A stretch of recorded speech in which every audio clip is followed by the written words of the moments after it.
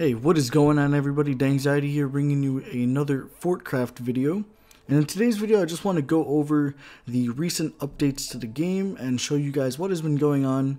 Uh, especially if you have not made it into the beta, um, this could be a way for you to keep up with the progress of the game because I'm sure you're going to be able to play in the near future. Um, I'm not sure, I can't give an exact time estimate of when they would open up the beta again, but from playing, I can tell you that there are bots, 100% confirmed bots in the game. So perhaps it could be once they, you know, up their server cap, like based on like, you know, their uh, power and like spending.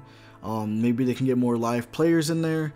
Uh, I'm not too sure about all that stuff, but I just want to show you guys what's been going on. So first, uh, we had yesterday, which was March 13th for me, um, you had solo and duo both open. So you were able to play duo for the first time, and that was great. Uh, I have some screenshots. I was actually like the first ranked player in duo. Uh, duo. My name was Legend, and duo was a lot of fun. Uh, they have voice chat working, and you could have a little team uh, looking for group, looking for team type system in the game already, and you could add friends and talk to them. So those are all really, really positive strides right there. Uh, and they had some other uh, little bug fixes and stuff like that.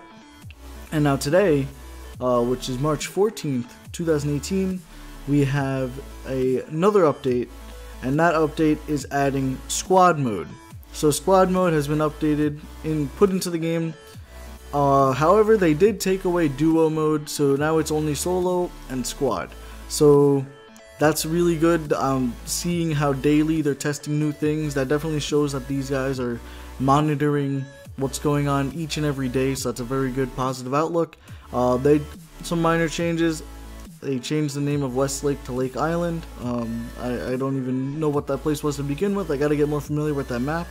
And they say they fixed the correct ID display showed in the battle results. So uh, yeah, so that's basically what has been going on. Uh, I did win my first squad game as well as my first duo game, and this game is relatively easy as of right now. Uh, I can I can't tell if it's because the game is easy, and maybe since I played so much Rules of Survival, the skill translated directly over, but I have been winning a lot of games, so if if I might if I have any tips, I would be really happy to pass them on. So I can definitely make a few videos on some tips, such as uh, what I prefer to use as my quick build, or how to aim better, strafing, uh, jumping, all different types of strategies that can help you in this game. What guns to use versus what guns to not use based on you know damage and uh, accuracy, stuff like that. So I'd be happy to continue making videos on Fortcraft. So if you guys want to see that, just let me know and I will do that. So, and if you have any suggestions too, you can let me know as well. So that's going to do it for this video. Uh, I'm going to try to make videos like this as often as I can, showing you what is in the new updates.